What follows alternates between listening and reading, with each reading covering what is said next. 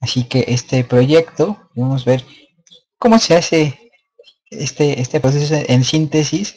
Es muy importante levantar material fotográfico, conocer el entorno para eh, ambientarse, y ubicarse en este contexto, como también nosotros tuvimos oportunidad de, este, de, ver en cuestión general, ahora el físico para tomar las muestras y puntos que nos sirven de anclas para eh, obtener eh, mediciones, proporciones y de ahí llevarlas hacia el trazo en la computadora.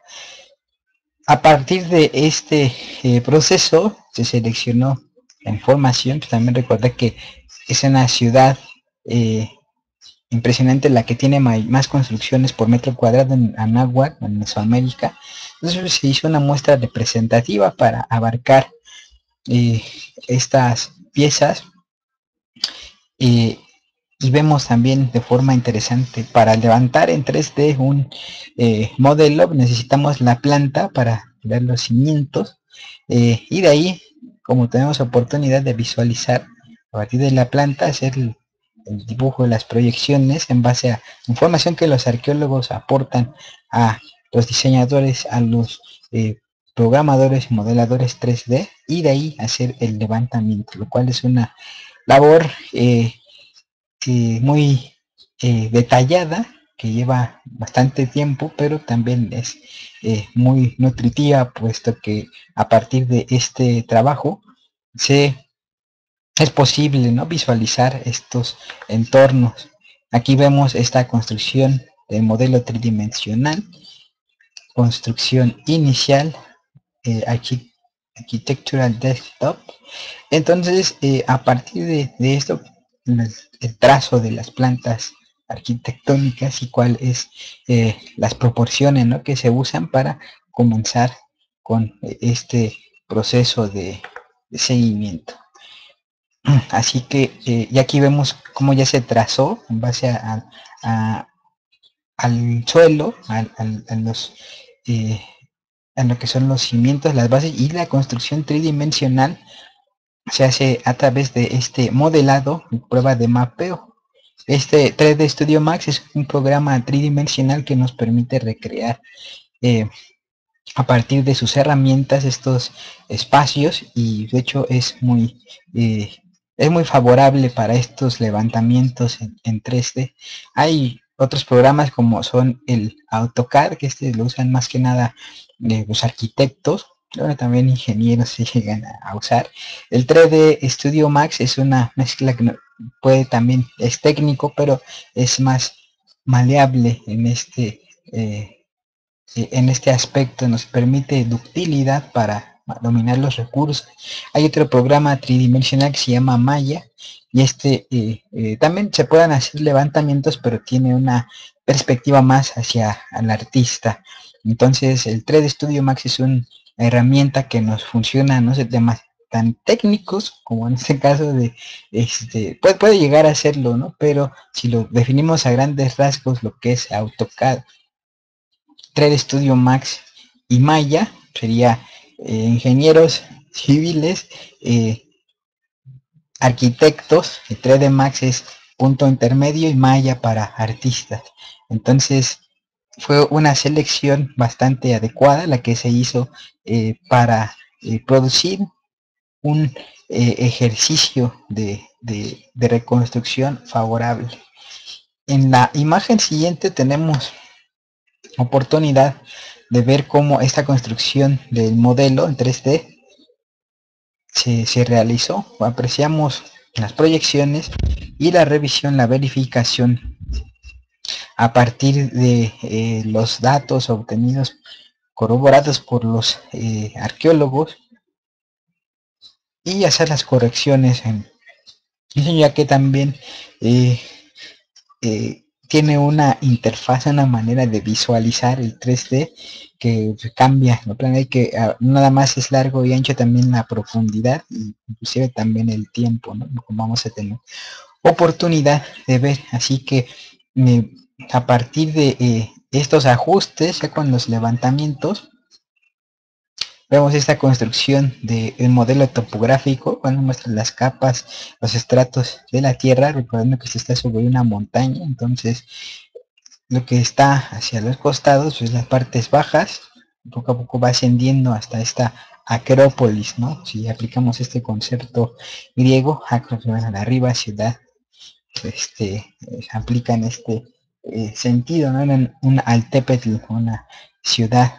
Y esta selección de curvas eh, pues permitió también hacer un modelado y una eh, ajuste con las imágenes topográficas y las imágenes ya digitalizadas.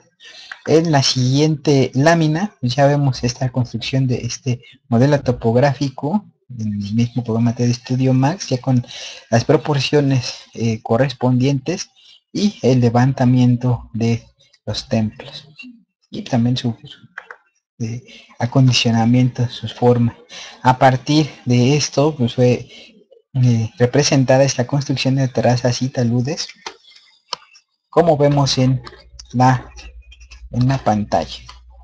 Así que eh, a partir de este eh, proceso, pues podemos identificar ya un modelo más ajustado, adaptado a, a lo que fue en base a la investigación y en base a los modelos tridimensionales.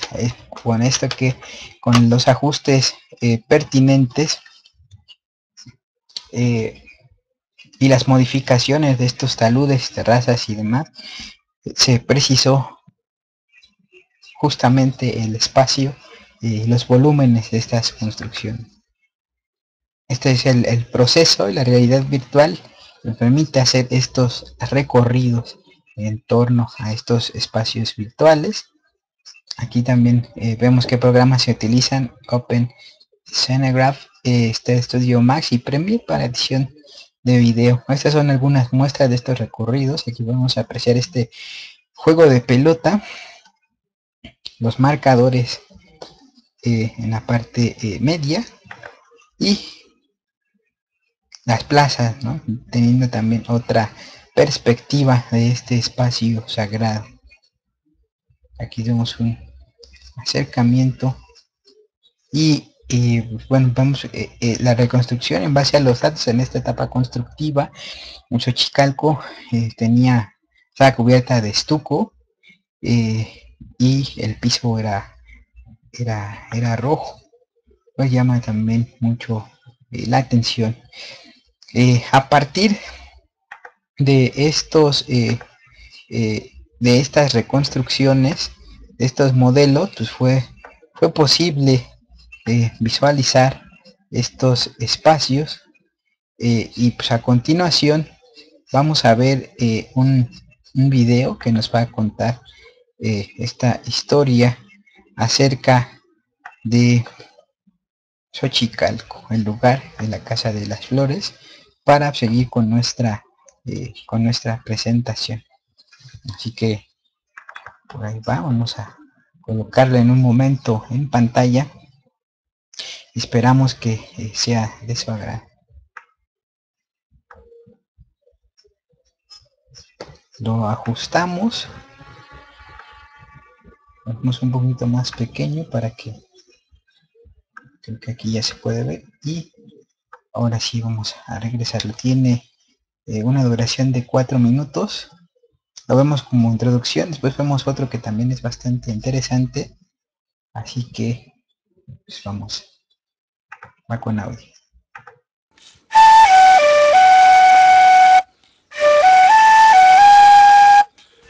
Hace 1300 años, cuando Teotihuacán dejó de ser la metrópoli política de Mesoamérica, se desarrolló un núcleo urbano al que sus pobladores le llamaron Xochicalco, que en lengua náhuatl significa lugar de la Casa de las Flores.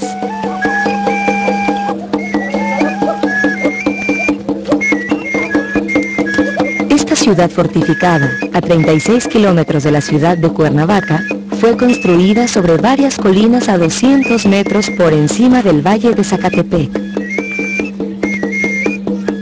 lo que le permitió mantener un complejo control sobre la región para asegurar su abastecimiento y obtener mano de obra, materias primas y de construcción.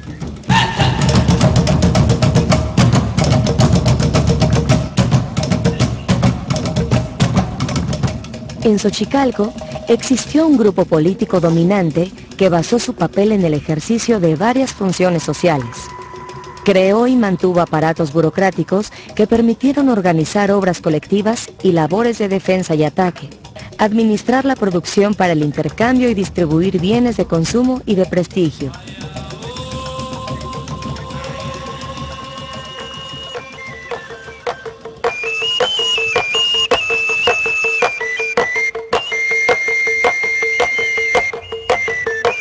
Entre sus diversas construcciones destaca la pirámide de las serpientes emplumadas,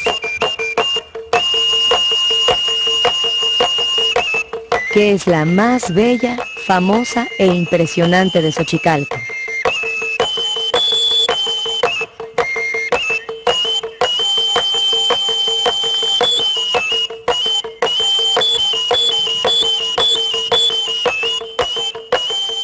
Su nombre proviene de las ocho enormes serpientes que decoran los taludes. El significado de este edificio se interpreta como un templo conmemorativo que festeja un evento sucedido en la fecha 9 Ojo de Reptil, aproximadamente en el año 743 de nuestra era, cuando se congregaron sacerdotes de distintos pueblos aliados para presenciar un eclipse de sol.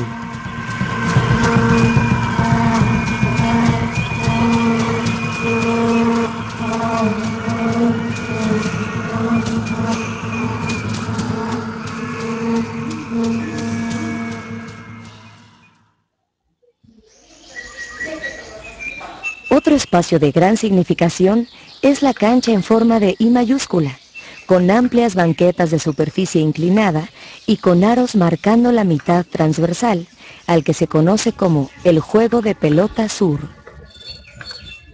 En este lugar se llevaba a cabo el juego ritual, en donde una gran pelota de hule sólido era golpeada con las caderas. La cancha representaba el universo y la pelota los astros en constante movimiento.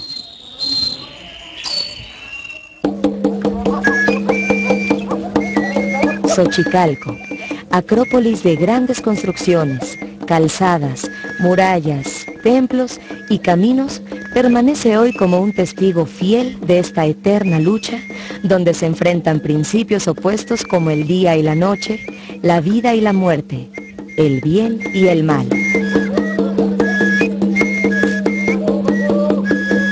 Turismo Cultural INA. La aventura del conocimiento.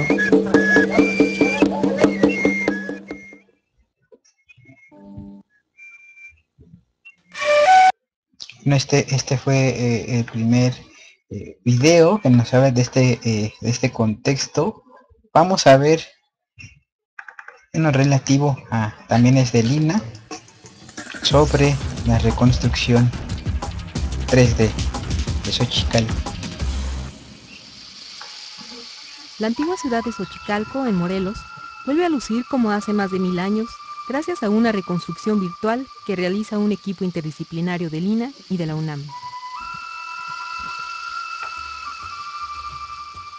El objetivo es, como su nombre lo indica, hacer un material didáctico que permita a los usuarios, como material didáctico, tener una inmersión directamente a las, a las zonas arqueológicas que están reconstruyendo. Los expertos universitarios de la FES Aragón dieron a conocer que el levantamiento en tercera dimensión de Xochicalco cuenta con un 90% de avance luego de que estas labores comenzaran a fines de 2010. Estamos levantando toda la zona arqueológica que se tiene actualmente ya, ya descubierta. Estamos incluso trabajando partes que no vamos a poder avanzar en eh, la medida porque aún no han